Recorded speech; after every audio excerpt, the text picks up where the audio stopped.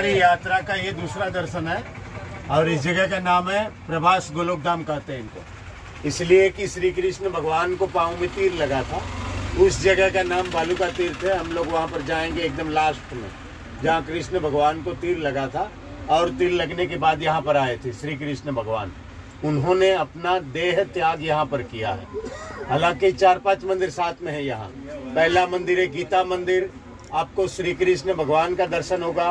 गीता जी के अठारह अध्याय लिखे हैं दीवार में। दूसरा मंदिर बलराम जी का है। कृष्ण भगवान के बड़े भाई।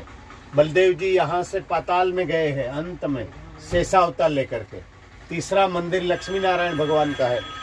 वो दर्शन करके आप कृष्ण भगवान के चरण पादुका है फुटप्रिंट उसको गोलोकधाम कहते हैं, देहोत्सर्ग कहते हैं और प्रभास तीर्थ कहते हैं।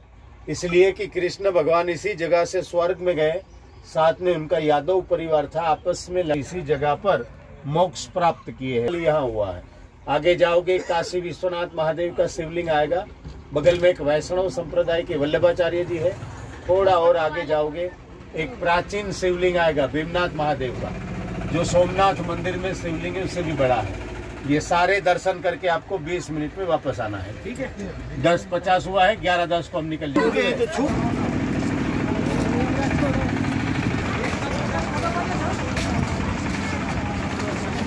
Thank